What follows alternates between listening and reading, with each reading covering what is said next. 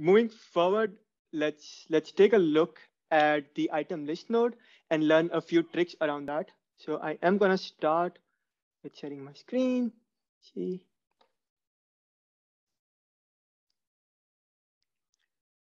Wonderful. I am assuming that you all can see my screen now. So with the item list node, as uh, Max already showed you how it works, I'm gonna go through a deeper example and gonna show you each and every operations in there. So the first example is similar to what Max showed. So in here, I love Pokemon, so I'm just making a API call to the Poke API. If I execute this, I am gonna get some information. Uh, okay. Let's see. In the meantime, let me take a quick look at the chat. Right. Let's stop this. Reload it again. Let's try it once again. All right. So as you can see now, we have we are getting a lot of information like the count, the the next endpoint that I should call if I want to get the further information, the previous endpoint for this, and then the result. Now, I am only interested in the result for this. So earlier it was using the function node, but with the item list node, I can specify that I want the results. And if I execute this, it just gives me the result. So the result now contains the name and the URL, and it splits them into individual items. So now over here, we have 100 items.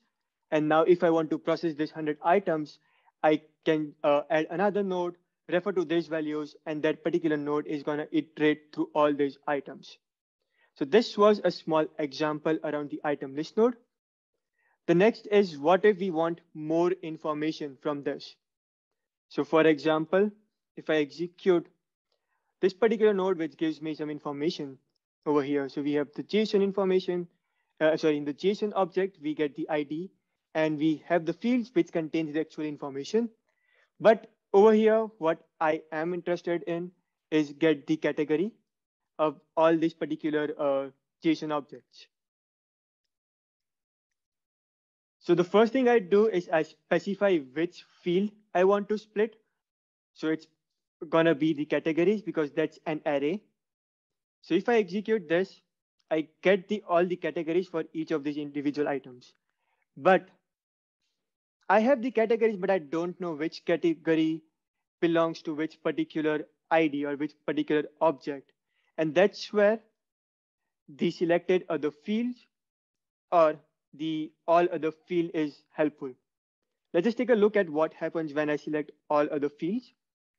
Now, if I execute this, it includes all the other fields from the previous node, as well as it gets us this particular value over here that we have extracted in this node.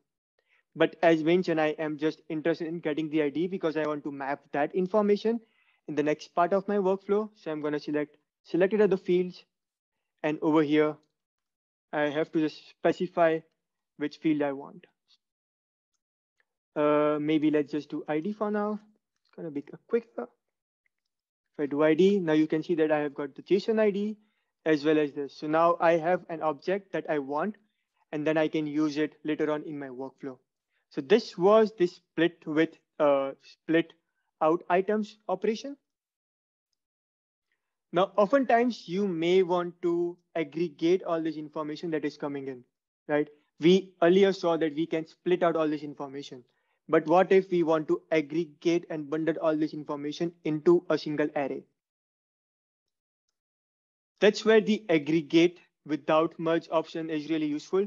So if I now execute this node, we see that we have a category array, which contains again all the categories. Now, because these were all individual arrays. It's now just creating an array of arrays.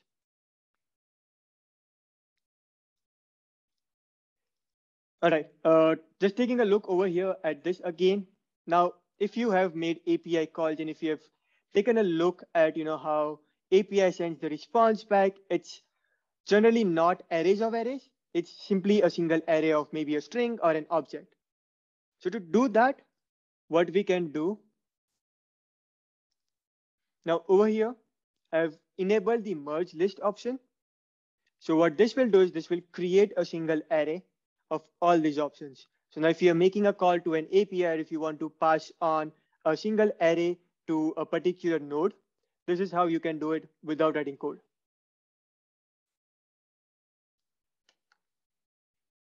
The next one is kind of really interesting because we also have seen a lot of people doing this. You know, they want to short uh, sort the information coming in, maybe in an ascending order or descending order, and they are not sure how they can do it using the function uh, function node. And that's where, again, the item list node is really helpful. Now, over here, what I am doing is I'm again making a call to the Poke API, extracting the results, and now I am selecting the sort operation. I am sorting this based on the field name, and I want to do an ascending order, so I selected the order ascending. If I want to do descending, I'm going to select descending, execute the node, and now it does sorting for you. So again, it's just trying to help you out with, you know, not getting into the complexity of writing codes and giving you more of a visual cue of how you can do all these operations without code. And the last one is around limiting these outputs. So you get thousands of outputs uh, from a particular node, but in your response, you only want to send maybe 10 of this incoming information. So how can you do that? So again, the earlier one was to, you know, write some functions and then uh, limit those incoming values. But now with the item list uh, node, you can limit the number of outputs that you want. So over here, I just want 10 items from the last, right? I just want the last 10 items. That's why I selected keep the last 10 items. If you want the first 10 items, we can select first items. We can even change this. So let's just say we want only five items. We execute this, it returns only just five items, and you can then pass on this information to the next node. Now over here, you can combine all this together. So let's just say we sorted, uh, sorted this uh, into ascending order, and then we want to send the first five. So you can have the sort operation, and then you can connect the uh, item list node with the limit operation. And that's how you can move forward with this. So I hope this kind of helps you understand how item list node can be useful. Now, if you have again any feedback or if you want to, you know, uh, let us know uh, what kind of operations you think should be uh, added in this. You can always uh, share share it on the community forum, and we would be happy to take a look at it and you know try to add more operations to the item list node.